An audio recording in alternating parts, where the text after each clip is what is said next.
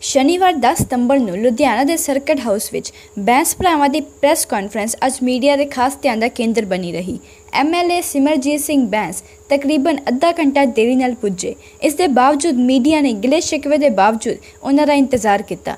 ਲਓ ਦੇਖੋ ਇੱਕ ਝਲਕ ਉਸ ਪ੍ਰੈਸ ਕਾਨਫਰੰਸ ਦੀ, ਜਿਸ ਵਿੱਚ ਉਹਨਾਂ ਇਸ਼ਾਰਿਆਂ ਦੇ ਨਾਲ ਹੀ ਬਹੁਤ ਕੁਝ ਕਿਹਾ। ਜਨੂਨੀ ਲੋਕਾਂ ਦਾ ਪਲੇਟਫਾਰਮ ਆਵਾਜ਼ੇ ਪੰਜਾਬ, ਜਿਹੜੇ ਰਾਜਨੀਤੀ ਦਾ ਧੰਦਾ ਨਹੀਂ ਕਰਦੇ, ਜਿਨ੍ਹਾਂ ਦੇ ਉੱਤੇ ਕੋਈ ਕੁਐਸਚਨ ਮਾਰਕ ਨਹੀਂ ਉਹਨਾਂ ਲੋਕਾਂ ਦਾ ਪਲੇਟਫਾਰਮ ਆਵਾਜ਼ੇ ਪੰਜਾਬ ਪੰਜਾਬ ਦੇ ਲੋਕਾਂ ਦਾ, ਪੰਜਾਬੀਆਂ ਦਾ ਤੇ ਪੰਜਾਬੀਆਂ ਦੇ ਵਿੱਚੋਂ ਚੌਕੀਦਾਰਾਂ ਦਾ। ਜਿਹੜੇ ਐਮਪੀ ਐਮਐਲਏ ਬਣ ਕੇ ਸਰਕਾਰੀ ਬੰਗਲਿਆਂ ਦਾ ਆਨੰਦ ਮਾਣਨ ਦੇ ਸ਼ੌਕੀਨ ਨਹੀਂ ਤੇ ਪੰਜਾਬ ਵਾਸਤੇ। ਆਵਾਜ਼ੇ ਪੰਜਾਬ ਸਰਕਾਰਯੋਗ ਸਰਦਾਰ ਨਵਜੋਤ ਸਿੰਘ ਸਿੱਧੂ ਸਿੱਧੂ ਸਾਹਿਬ ਦੀ ਅਗਵਾਈ। ਜਿਹਦੇ ਨਾਲ ਆਪਾਂ ਇੱਕ ਵਾਇਰਲ ਫੋਟੋ ਮੇਰੇ ਵੀ ਅਫੀਸ਼ੀਅਲ ਪੇਜ ਤੋਂ ਸਿੱਧੂ ਸਾਹਿਬ ਦੇ, ਪ੍ਰਗਟ ਜੀ ਹੋਰਾਂ ਦੇ ਤੇ ਬਹੁਤ ਸਾਰੇ ਇੱਕ ਦੇ ਵਰਗ ਦੇ ਮਨ ਦੇ ਵਿੱਚ ਸ਼ੰਕਾ ਸੀ ਵੀ ਇਹ ਤਾਂ ਐਵੇਂ ਹੀ ਯਾਰ ਸ਼ੋਸ਼ਾਈ। ਮੈਨੂੰ ਮੈਂ ਚੰਡੀਗੜ੍ਹ ਗਿਆ ਤੇ ਮੈਨੂੰ ਬਹੁਤ ਸਾਰੇ ਮੇਰੇ ਮੀਡੀਆ ਦੇ ਦੋਸਤ ਪੁੱਛਣ ਲੱਗੇ, ਕਹਿੰਦੇ ਯਾਰ ਇਹ ਸੱਚੀ ਗੱਲ ਹੈ ਮੈਂ ਯਾਰ ਜਮਾ ਹੀ ਸੱਚੀ ਹੈ ਮੈਂ ਆਪਣੇ ਅਫੀਸ਼ੀਅਲ ਪੇਜ ਤੋਂ ਪਾਈ ਹੈ ਸੱਚੀ ਗੱਲ ਹੈ ਕਹਿੰਦੇ ਜੀ ਇਹਦੀ ਭਿਣਕ ਕਿਸੇ ਨੂੰ ਨਹੀਂ ਲੱਗੀ। ਸਰਕਾਰ ਦਾ ਸੀਆਈਡੀ ਤੰਤਰ ਫੇਲ ਹੋ ਗਿਆ।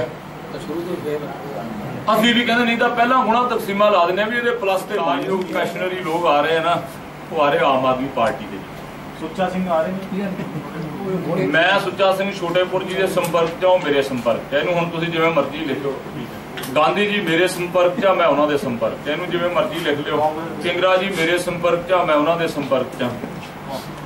ਆਮ ਆਦਮੀ ਪਾਰਟੀ ਦੇ ਅੰਦਰ ਜਿਹੜੇ ਪੰਜਾਬ ਦੀ ਸੋਚ ਸਮ- ਸਮੋਈ ਬੈਠੇ ਉਹ ਬਹੁਤ ਸਾਰੇ ਮੇਰੇ ਟੱਚ 'ਚ ਆ ਤੇ ਮੈਂ ਉਹਨਾਂ ਦੇ ਟੱਚ 'ਚ ਆ।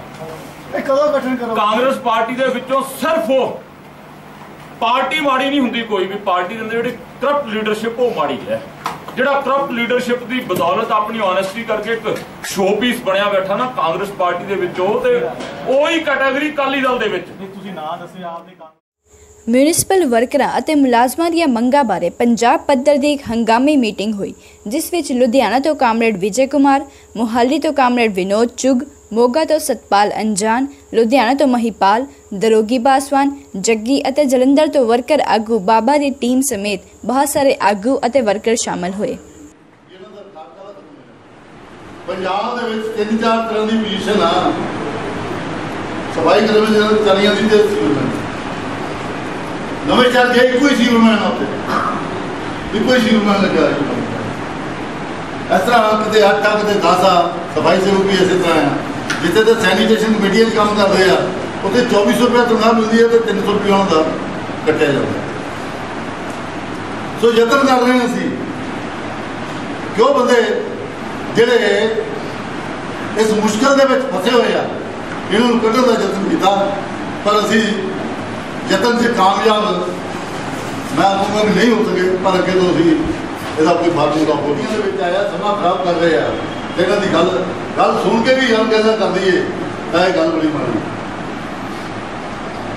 ਤਾਂ ਬੇਨਤੀ ਕਰਦੇ ਵੀ ਅਸੀਂ ਉਹਨਾਂ ਨੂੰ ਇੱਕ ਗੱਲ ਇੱਕ ਗੱਲ ਕਹੀ ਸੀ ਵੀ ਆਪਣੀ ਰਾਖੀ ਆਪ ਕਰੀਏ। ਯੂਨੀਅਨ ਵਾਲਿਓ, ਉੱਪਰੋਂ ਕੋਈ ਖੋਪਦਾ ਹੈ ਤੁਹਾਡੇ ਤੇ। ਉਹ ਜਥੇਬੰਦੀਆਂ ਬਣ ਜਾਂਦੀਆਂ, ਪ੍ਰਧਾਨ ਸੈਕਟਰੀ ਬਣ ਜਾਂਦੇ ਆ, ਉੱਪਰੋਂ ਪ੍ਰੋਗਰਾਮ ਥੱਲੇ ਨੂੰ ਲੈ ਕੇ ਆਉਂਦੇ ਆ। ਅਸੀਂ ਅਸੀਂ ਉਹਨਾਂ ਨੂੰ ਪ੍ਰੋਗਰਾਮਾਂ ਨੂੰ ਮੰਨੀ ਜਾਂਦੇ ਹਾਂ ਚਾਹੇ ਠੀਕ ਆ, ਤਾਂ ਨਹੀਂ। ਪਰ ਅਸੀਂ ਕਿਉਂ ਨਾ? ਅਸੀਂ ਯੂਨੀਅਨ ਵਾਲੇ ਇਕੱਠ ਕਰਕੇ ਸਾਰੇ ਸਾਰੇ ਜ਼ਿਲ੍ਹਿਆਂ ਚੋਂ ਸਾਰੇ ਯੂਨੀਅਨ ਚੋਂ ਇੱਕ ਇੱਕ ਬੰਦਾ ਚੁਣਿਆ ਜਾਵੇ, ਦੋ ਦੋ ਬੰਦਿਆਂ ਦੀ ਕਮੇਟੀ ਬਣ ਕੇ ਕੱਲ ਨੂੰ ਅਸੀਂ ਡਿਮਾਂਡ ਨੋਟਿਸ ਤਿਆਰ ਕਰਨਾ ਤਾਂ ਅਸੀਂ ਸਾਰੇ ਕਰੀਏ। ਜੇ ਅਸੀਂ ਕਿਸੇ ਡਾਇਰੈਕਟਰ ਨੂੰ ਦੇਣਾ ਸੈਕਟਰੀ ਨੂੰ ਦੇਣਾ, ਤਾਂ ਅਸੀਂ ਖੁਦ ਜਾਈਏ ਤਾਂ ਕਿ ਅਸੀਂ ਥੱਲੇ ਜਾ ਕੇ ਜਵਾਬ ਦੇ ਦਈਏ ਵੀ ਤਾਂ ਅਸੀਂ ਆ ਸਾਡਾ ਇਹ ਫਰਜ਼ ਇਸ ਕਰਕੇ ਸੱਚੀ ਜਿੰਨੀਆਂ ਵੀ ਕਮੇਟੀਆਂ ਤੋਂ ਆਏ ਆ।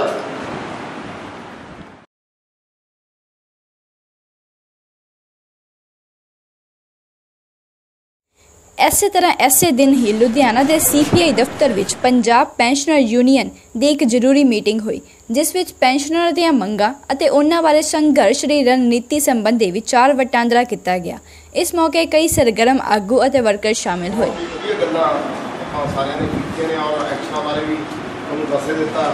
ਮੈਂ ਦੁਬਾਰਾ ਫਿਰ ਤੁਹਾਨੂੰ ਬੇਨਤੀ ਕਰ ਦਿੰਦਾ ਵੀ ਜਿਹੜਾ ਆਪਾਂ 13 ਦਾ ਐਕਸ਼ਨ ਆ, ਜਾਂ ਧਾਰੀਵਾਲ ਸਾਹਿਬ ਦੀ ਬਾਤ ਸੀ ਜਾਂ 20 ਤਰੀਕ ਦਾ ਪ੍ਰੋਗਰਾਮ ਖਾਸ ਕਰਕੇ ਜਿਹੜਾ ਜਲੰਧਰ ਵਿੱਚ ਆ। ਉਹਦੇ ਵਿੱਚ ਆਪਾਂ ਵੱਡੀ ਪੱਧਰ ਤੇ ਪਹੁੰਚਣਾ।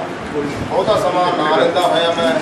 ਸਿਰਫ ਸਾਡੇ ਜੀਤੀ ਸਿੰਘ ਚਾਲ ਮੇਰੇ ਜਨਰਲ ਸਕੱਤਰ ਹੈ ਸਾਡੀ ਜਨਰਲ ਦੇ। ਵਿਸ਼ੇਸ਼ ਤੌਰ ਤੇ ਅੱਜ ਸਭ ਸਮਾਂ ਦੇ ਕੇ ਆਏ ਨੇ। ਸਮੇਂ ਤੋਂ ਸਮਾਂ ਕੱਢ ਕੇ ਬਹੁਤ ਬਹੁਤ ਇਹਨਾਂ ਦੇ ਵੀ ਧੰਨਵਾਦੀਆਂ ਸਾਥੀ ਬੈਠ ਨੇ ਇਸੇ ਦੌਰਾਨ ਖੱਬੇ ਪੱਖੇ ਵਿਦਿਆਰਥੀ ਸੰਗਠਨ AISF ਅਰਥਾਤ ਆਲ ਇੰਡੀਆ ਸਟੂਡੈਂਟਸ ਫੈਡਰੇਸ਼ਨ ਨੇ ਆਪਣੀਆਂ ਸਰਗਰਮੀਆਂ ਤੇਜ਼ ਕਰ ਦਿੱਤੀਆਂ ਹਨ। ਵਿਦਿਆਰਥੀਆਂ ਦੇ ਇੱਕ ਵਫਦ ਨੇ ਇਸ ਸਿਲਸਿਲੇ ਅਧੀਨ ਹੀ ਜ਼ਿਲ੍ਹਾ ਪ੍ਰਸ਼ਾਸਨ ਨੂੰ ਇੱਕ ਮੰਗ ਪੱਤਰ ਵੀ ਦਿੱਤਾ। ਕੀ ਕਹਿੰਦੇ ਐਜੂਕੇਸ਼ਨ ਸਾਰਿਆਂ ਲਈ ਫ੍ਰੀ ਹੋਣਾ ਚਾਹੀਦਾ ਆ ਤੇ ਕਾਮਨ ਹੋਣੀ ਚਾਹੀਦੀ ਆ। ਸਕੂਲਾਂ ਦੇ ਵਿੱਚ ਕਾਲਜਾਂ ਦੇ ਬਾਹਰ ਮਤਲਬ ਕੁੜੀਆਂ ਲਈ ਖਾਸ ਪ੍ਰਦ- ਪ੍ਰਬੰਧ ਹੋਣਾ ਚਾਹੀਦਾ ਹੈ ਸਿਕਿਉਰਿਟੀ ਪੁਲਿਸ ਸਿਕਿਉਰਿਟੀ ਵਧੀਆ ਹੋਣੀ ਚਾਹੀਦੀ ਆ। ਜ਼ਿਆਦਾ ਤੋਂ ਜ਼ਿਆਦਾ ਸਰਕਾਰੀ ਸਕੂਲ ਹੋਣੇ ਚਾਹੀਦੇ ਨੇ, ਉਹਨਾਂ ਦੇ ਵਿੱਚ ਫੈਸਿਲਿਟੀਜ਼ ਹੋਣਾ ਚਾਹੀ- ਹੋਣੀਆਂ ਚਾਹੀਦੀਆਂ ਨੇ ਟੀਚਰ ਵਗੈਰਾ ਵਧੀਆ ਹੋਣੇ ਚਾਹੀਦੇ ਨੇ। ਤੇ ਆਪਣੇ ਮਤਲਬ ਕਾਸਟ ਸਿਸਟਮ ਨੂੰ ਖਤਮ ਕਰਨਾ ਚਾਹੀਦਾ ਆ। ਸਾਰਿਆਂ ਲਈ ਯਾਨੀ ਸਹੂਲਤ ਜਿਹੜੀਆਂ ਨੇ ਸਟੱਡੀ ਦੇ ਬੇਸ ਤੇ ਸਾਰੀਆਂ ਇੱਕ ਬਰਾਬਰ ਹੋਣੀਆਂ ਚਾਹੀਦੀਆਂ ਨੇ। ਇਹ ਤੁਸੀਂ ਸਰਕਾਰੀ ਸਕੂਲਾਂ ਵਾਸਤੇ ਮੰਗ ਕਰ ਰਹੇ ਹੋ ਕਿ ਜਿਹੜੇ ਪ੍ਰਾਈਵੇਟ ਸਰਕਾਰੀ ਸਕੂਲਾਂ ਵਾਸਤੇ ਮੰਗ ਕਰ ਰਹੇ ਹਾਂ ਤੇ ਯਾਨੀ ਕਿ ਜਿਹੜੇ ਅੱਜ ਕੱਲ੍ਹ ਵਪਾਰੀਕਰਨ ਹੋ ਰਹੇ ਨੇ ਐਜੂਕੇਸ਼ਨ ਦੇ ਸੰਬੰਧੀ ਮਤਲਬ ਉਹਨਾਂ ਨੂੰ ਖਤਮ ਕੀਤਾ ਜਾਣਾ ਚਾਹੀਦਾ ਹੈ। ਪ੍ਰਾਈਵੇਟ ਕਾਲਜ ਵਗੈਰਾ ਜਿਹੜੇ ਕਿ ਬਿਜ਼ਨਸ ਦੇ ਤੌਰ ਤੇ ਖੋਲ੍ਹੇ ਜਾ ਰਹੇ ਨੇ ਇਹਨਾਂ ਨੂੰ ਬੰਦ ਕੀਤਾ ਜਾਣਾ ਚਾਹੀਦਾ ਹੈ ਤੇ ਵੱਧ ਤੋਂ ਵੱਧ ਸਰਕਾਰੀ ਕਾਲਜ ਤੇ ਸਕੂਲ ਖੁੱਲ੍ਹਣੇ ਚਾਹੀਦੇ ਹਨ ਤੇ ਉਹਨਾਂ ਦੇ ਵਿੱਚ ਖਾਸ ਪ੍ਰਬੰਧ ਸੇ ਸਟੂਡੈਂਟਸ ਲਈ ਖਾਸ ਫੈਸਿਲਿਟੀਜ਼ ਹੋਣੀ ਚਾਹੀਦੀਆਂ ਨੇ। ਜਿਹੜੇ ਤੁਸੀਂ ਕਹਿ ਰਹੇ ਹੋ ਕਿ ਪ੍ਰਾਈਵੇਟ ਸਕੂਲ ਬਿਜ਼ਨਸ ਤੌਰ ਤੇ ਨੇ ਇਹ ਬਿਜ਼ਨਸ ਜੇ ਕਰ ਰਹੇ ਹਨ ਤੇ ਇਹਦੇ ਵਿੱਚ ਸਰਕਾਰ ਦਾ ਵੀ ਕੁਝ ਇਨਵੋਲਵੇਸ਼ਨ ਹੋ ਸਕਦਾ ਕਿ ਖਾਲੀ ਉਹ ਬਿਜ਼ਨਸ ਹੀ ਕਰਦੇ ਪਏ? ਬਿਲਕੁਲ ਹੋ ਸਕਦਾ ਜੀ, ਯਾਨੀ ਕਿ ਉਹਨਾਂ ਦੇ ਉਹਨਾਂ ਦੇ ਜੇ ਉਹ ਚਾਹਣ, ਕਿਉਂਕਿ ਉਹਨਾਂ ਨੇ ਗਵਰਨਮੈਂਟ ਨੇ ਤਾਂ ਆਪਣਾ ਸਰਕਾਰੀ ਸਕੂਲਾਂ ਤੇ ਕਾਲਜਾਂ ਦੇ ਉੱਤੇ ਬਿਲਕੁਲ ਵੀ ਹੱਥ ਚੱਕ ਲਿਆ ਹੋਇਆ। ਹੈ ਤੇ ਉਹਨਾਂ ਲਈ ਮਤਲਬ ਵੀ ਅੱਜ ਕੱਲ੍ਹ ਦੇਖ ਰਹੇ ਆ ਵੀ ਸਕੂਲਾਂ ਦੇ ਸਰਕਾਰੀ ਸਕੂਲਾਂ ਦੇ ਵਿੱਚ ਟੀਚਰ ਨਹੀਂ ਹੈਗੇ। ਜੇ ਟੀਚਰ ਹੈਗੇ ਤਾਂ ਉੱਥੇ ਫੈਸਿਲਿਟੀਜ਼ ਨਹੀਂ ਹੈਗੀਆਂ ਤੇ ਬਹੁਤ ਹੀ ਜ਼ਿਆਦਾ ਬੁਰਾ ਹਾਲ ਹੋ ਰਿਹਾ ਹੈ। ਤੇ ਇਹਨਾਂ ਸਾਰੇ ਪ੍ਰੋਬਲਮਸ ਨੂੰ ਮਤਲਬ ਜਲਦੀ ਤੋਂ ਜਲਦੀ ਖਤਮ ਕੀਤਾ ਜਾਣਾ ਚਾਹੀਦਾ ਹੈ। ਤੇ ਇੱਕ ਵਿਸ਼- ਵਧੀਆ ਤੇ ਵਧੀਆ ਕਾਲਜ ਦਾ ਯਾਨੀ ਕਿ ਆਪਣੇ ਪੰਜਾਬ ਦੇ ਵਿੱਚ ਤੇ ਪੂਰੇ ਮਤਲਬ ਸਟੇਟ ਦੇ ਵਿੱਚ ਤੇ ਪੂਰੇ ਇੰਡੀਆ ਦੇ ਵਿੱਚ ਇਹ ਸਾਰਾ ਸਿਸਟਮ ਹੋਣਾ ਚਾਹੀਦਾ ਲਾਗੂ ਹੋਣਾ ਚਾਹੀਦਾ ਜੋ ਤੁਹਾਡੇ ਕਹਿਣ ਦਾ ਮਤਲਬ ਐਜੂਕੇਸ਼ਨ ਇੱਕ ਜਿਹਨੂੰ ਸਿੱਖਿਆ ਦੇਣਾ ਚਾਹੀਦਾ ਉਹ ਸਿੱਖਿਆ ਨਹੀਂ ਦੇ ਰਿਹਾ ਸਿਰਫ ਵਪਾਰ ਕਰ ਰਿਹਾ ਯਾਨੀ ਉਹ ਸਿਰਫ। ਬਿਜ਼ਨਸ ਕਰ ਰਿਹਾ ਮਨੀ ਬਿਗੇਸਟ ਮਨੀ ਹਾਂਜੀ ਬਿਲਕੁਲ ਵਪਾਰ ਕਰ ਰਹੇ ਨੇ ਤੇ ਉਹਨਾਂ ਦੀ ਯਾਨੀ ਐਸੀ ਬੇਸ ਤੇ ਐਸੀ ਵਾਲਿਆਂ ਤੋਂ ਘੱਟ ਤੋਂ ਘੱਟ ਫੀਸ ਲਿਆ ਜਾ ਰਿਹਾ ਹੈ ਤੇ ਜਨਰਲ ਕੈਟਾਗਰੀ ਵਾਸਤੇ ਮਤਲਬ ਜ਼ਿਆਦਾ ਤੋਂ ਜ਼ਿਆਦਾ ਫੀਸ ਹੁੰਦੀ ਇਹਨਾਂ ਨੂੰ ਸਿਸਟਮ ਨੂੰ ਮਤਲਬ ਸੇਮ ਕਰਨਾ ਚਾਹੀਦਾ ਹੈ ਬਰਾਬਰ ਕਾਮਨ ਹੋਣੀ ਚਾਹੀਦੀ ਹੈ ਸਟੱਡੀ ਸਾਰਿਆਂ ਲਈ ਇੱਕ ਬਰਾਬਰ ਹੋਣੀ ਚਾਹੀਦੀ ਹੈ ਜੇ। ਇਦਾਂ ਨਹੀਂ ਹੋਇਆ ਤਾਂ ਅੱਗੇ ਤੁਸੀਂ ਕੀ ਕਰੋਗੇ? ਅਸੀਂ ਸਖਤ ਤੋਂ ਸਖਤ ਕਦਮ ਚੁੱਕਾਂਗੇ ਗਵਰਨਮੈਂਟ ਦੇ ਖਿਲਾਫ ਸਖਤ ਤੋਂ ਸਖਤ ਕਾਰਵਾਈ ਅਸੀਂ ਸਾਰੇ ਸਟੂਡੈਂਟਸ ਮਿਲ ਕੇ ਮੰਗ ਕਰਾਂਗੇ ਉਹਨਾਂ ਨੂੰ।